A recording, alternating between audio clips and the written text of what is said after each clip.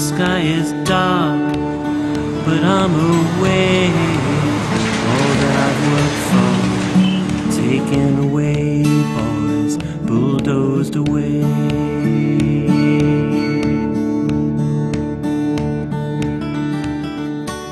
Our Article 1 of the Constitution is the Bill of Rights, and it lists all of the protections that people are supposed to have under the Constitution. Uh, it says currently that private property shall not be taken for private use with or without compensation. Private property shall not be taken for private use with or without compensation.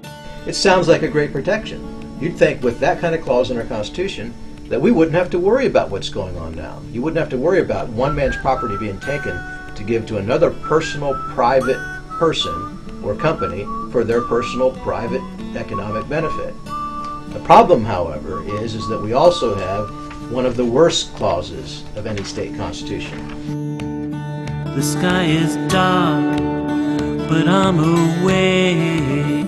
All that I've worked for, taken away, boys, bulldozed away. Article 6 is the part of our Constitution that enumerates the powers that the people have given to local governments. All power is vested in the people, we're told in Article 1, Section 1 of our Constitution. And people grant power to the government. And Article 6 is where we granted powers to local governments. Kindest neighbors, they're never mean. But all I had is lost in dreams, boys, lost in dreams. Unfortunately, in 1945, probably during a lapse of good judgment, the people allowed local governments to do the following. It says in Article 6, Section 21, that laws may be enacted and any city or county operating under a constitutional charter may enact ordinances providing for the clearance, replanning, reconstruction, redevelopment, and rehabilitation of blighted, substandard, or insanitary areas. And then it goes on to say that they can sell that property that they take by eminent domain. Uh, it's been interpreted to whomever they wish.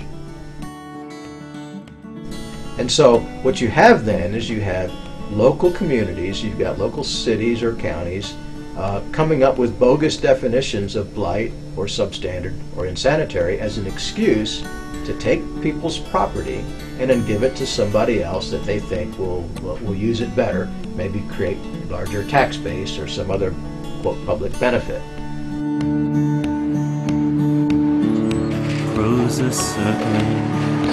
Round today.